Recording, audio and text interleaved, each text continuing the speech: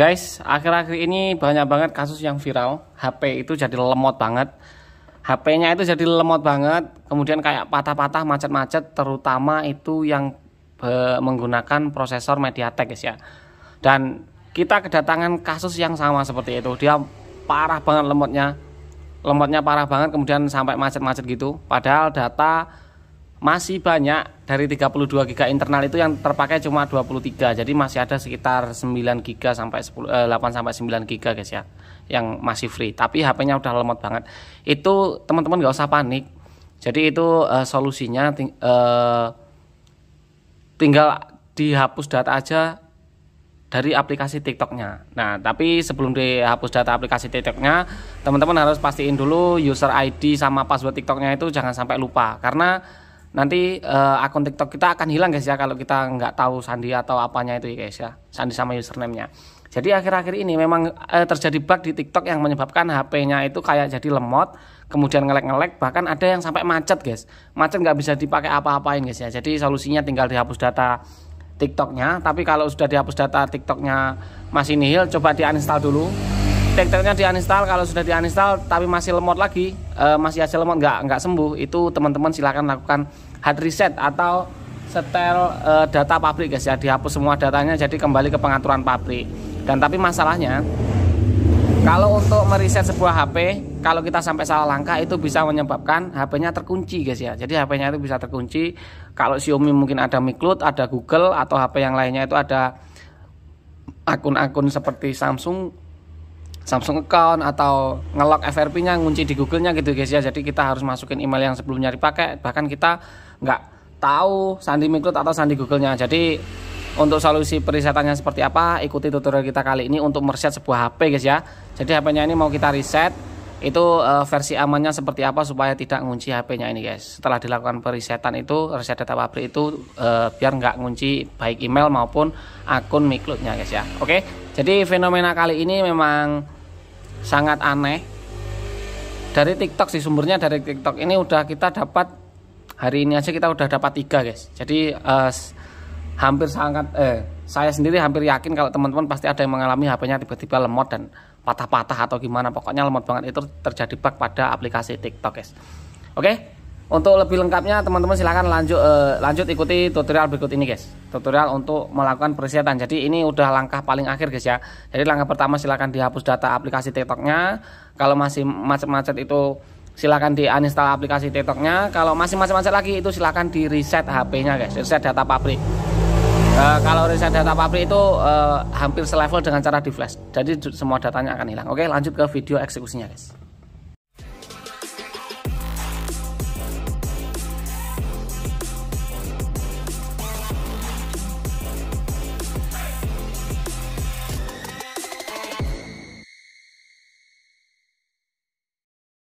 Halo guys, halo semuanya. Kita ketemu lagi ya guys ya. Jadi di kesempatan kita kali ini ini hanya kasus yang super ringan. Ini HP-nya lemot banget guys. Ini jadi solusi terakhir untuk mengatasi HP lemot. Tapi dengan catatan ini datanya akan hilang guys ya. Semua data akan hilang dan kita akan kasih tahu gimana cara meresetnya uh, dengan benar guys supaya nanti tidak ngunci yang lain-lain. Jadi yang pertama dipastikan itu adalah ini guys.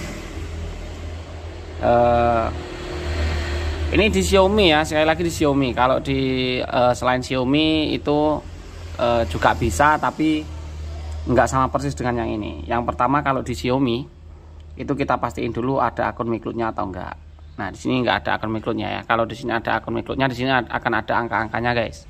Jadi kalau akan ada kalau ada angka-angkanya itu biasanya kalau kita reset itu nanti minta password miklutnya ini HP-nya lemot banget guys ya sebelumnya uh, full data dan datanya udah dibersihin. Masih sama. Sering macet-macet gitu kata si usernya ya. Terus kalau dia di sini ada miklot kalau teman-teman di sini ada miklot ya kalau di sini ada miklotnya di sini ada angkanya dan teman-teman tahu passwordnya itu nggak jadi masalah. Tapi yang jadi masalah itu kalau kita nggak tahu passwordnya. Jadi ada akunnya tapi kita lupa passwordnya. Itu solusinya teman-teman uh, resetnya via recovery. Tapi jangan langsung di reset dari recovery tapi dibuka dulu dari ininya guys. Tentang teleponnya ini dibuka dulu. Wah ini lumayan lemot banget tuh guys. Kita pilih tentang telepon pun ngekliknya lama banget. Nah kayak gini ya. Udah kelihatan nih. Setelah itu kita pilih versi uh, MIUI kayaknya. Kita tap tap nah ini versi MIUI nya ini di tap tap beberapa kali seperti ini. Sampai di sini ada sekarang ada adalah seorang pengembang atau seorang developer.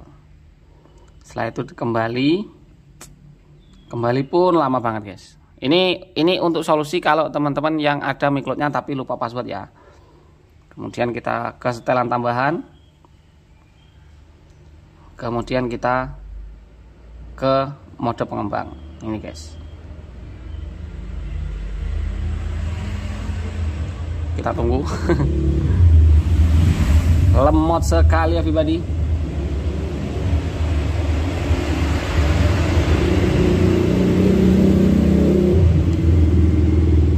geser ke bawah eh, ke atas apa? Geser ke atas guys ya. Tapi masih lemot ini guys. Kita tunggu dulu. Nah ini udah baru ada respon nih. Nah, ini baru kita pilih buka kunci OM nya guys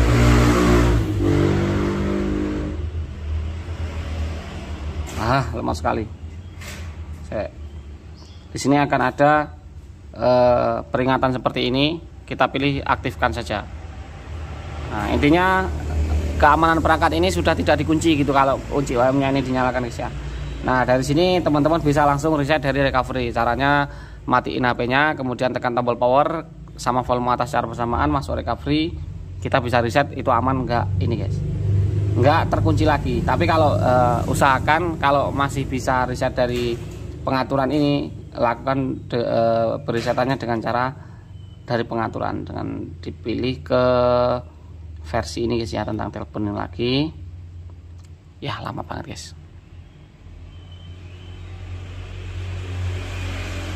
kemudian kita pilih reset ya harusnya reset ada di sini guys menu resetnya guys oh lemot sekali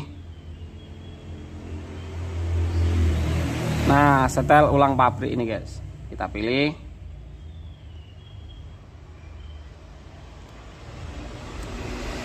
lemot sekali Nanti akan kita bandingkan ya guys ya. Kita bandingkan dengan setelah dilakukan perisetan pasti jauh banget. Nah, ini seluruh data hapus seluruh data guys. Seluruh data akan hilang. Ini tanpa terkoneksi dengan internet ya. Setel ulang. Ini jadi kayak ada pilihan kayak gini kita pilih setel ulang, kemudian kita uh, ini masih bisa cari perangkat. Itu kalau ada miklutnya otomatis dia kayak minta miklut guys. Tapi kalau nggak ada ini langsung dibawa ke peringatan seperti ini kita tunggu hitungan mundurnya dulu sampai 0 kemudian kita pilih langkah berikutnya nah di sini kita harus nunggu 10 detik lagi kita lalu kita pilih oke kita nunggu dulu biasanya ya untuk yang lemot-lemot seperti ini itu biasanya eh, tema sih yang paling sering bikin lemot guys. Kita pilih oke otomatis HP nya akan ngerestart guys. Kita tunggu dulu. Tuh langsung kayak loading restart.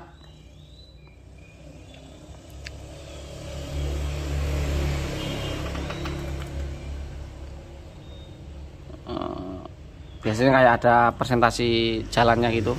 Biasanya ya tapi nggak tahu ini di versi berapa ini logo Redmi nah ini presentasi berjalan ditunggu aja itu tiba-tiba nanti bisa 100 guys tuh kan atau 100 kemudian nyala nah ini nyalanya ini lumayan agak lama bisa antara 5 sampai 10 menit guys. Tergantung setiap tipe beda-beda ya. Ini lumayan agak lama teman-teman gak usah panik, silahkan ditunggu aja sampai nyala benar-benar nyala normal. Nanti videonya kita lanjutin lagi kalau udah nyala normal guys. Ini lumayan agak lama ini. Uh, loading MIUI-nya ini lumayan agak lama ya. Oke guys, ini booting udah selesai harusnya ya. Tuh, udah masuk ke menu MIUI-nya. Kita pilih berikutnya. Jadi kita pilih langsung Indonesia kita pilih berikutnya kita pilih berikutnya. Mengatur lokasi. Kalau ada loading mungkin lokasi ini lumayan agak lama guys ya. Kita tunggu aja. Eh nggak lama guys. Bot kita pilih berikutnya saya telah membaca dan menyetujui kita pilih berikutnya kemudian lewati jaringan. Nah ini kalau untuk yang ngunci itu nggak bisa dilewati guys. Harus terkoneksi dengan jaringan. Atau kalau ini uh, kalau dia bisa melewati itu ini kunci layar nggak usah setuju guys biar ringan guys ya. Kalaupun bisa melewati itu nanti pas di sini selesai dia langsung kayak belum melakukan setup gitu. Di sini kayak ada logo gemboknya itu kalau kunci guys. Dan ini kalau perisetannya udah benar kayak gini dia akan aman nggak akan kunci intinya buka kunci OM itu penting guys ya. Buka kunci OM itu penting khususnya untuk teman-teman yang masih ada akunnya. Bahkan yang tadi akun Google-nya nggak kita hapus guys karena kita uh, risetnya menggunakan uh, pengaturan guys ya. Peng, uh, risetnya via pengaturan tidak uh, tidak menggunakan recovery. Kalau menggunakan recovery itu wajib buka kunci OM kalau nggak dibuka kunci OM nya bisa dari miklutnya yang kunci bisa dari akun Google-nya yang kunci guys. Oke ini kita tunggu dulu sampai memuat aplikasinya selesai guys. Ini lumayan agak lama harusnya. Kita tunggu dulu guys Oke, loading selesai, tiba-tiba masuk ke uh, tunggu di Playstore itu guys ya. Nah, udah masuk guys. Tunggu sebentar di plaster tadi langsung udah masuk ke menu. Ini kalau yang nggak kunci bisa langsung aman sampai ke sini guys. Ini pun harusnya udah aman ya. Udah nggak lemot-lemot lagi kalaupun kita buka pengaturan itu langsung terbuka langsung bisa dimainin kayak gini. Semua fitur-fitur lemotnya tadi udah hilang guys. Kalau kita buka di pengembang apakah masih terbuka di sini OM nya Oh pengembangnya masih belum ada guys. Jadi kita buka pengembang dari sini dulu. Jadi pengembang dari OEM nya tadi otomatis ketutup ya harusnya. Anda sekarang adalah seorang developer. Kita pilih kesetaraan tambahan. Kita ke pengembang. Kemudian kita buka OM Oh buka OM nya otomatis masih terbuka guys. Ini kita balikin lagi biar nanti kalau terjadi hal, -hal yang tidak diinginkan guys ya seperti uh, HP-nya hilang atau apa gitu kan itu otomatis akan ngunci gitu guys. Oke? Jadi mungkin hanya itu dulu video kita kali ini. Lemotnya udah hilang semoga videonya bermanfaat.